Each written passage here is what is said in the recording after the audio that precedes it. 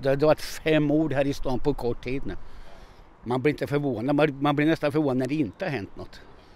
För det händer all, alltid något verkar det som.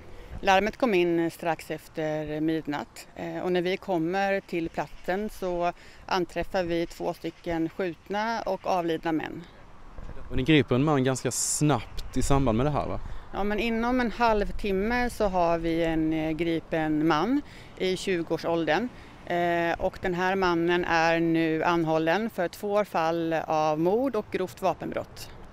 Fem mord på ett halvår i Norrköping. Eh, ska man se de här morden som en fortsättning på det som har skett tidigare? Finns det kopplingar mellan de andra morden och de här?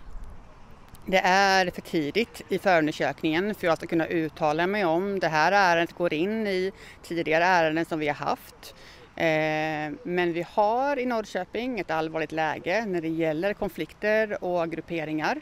Eh, och vi jobbar med en förstärkt resurs till vår ingripande verksamhet för att få förutsättningar att möta den lägesbild som vi har.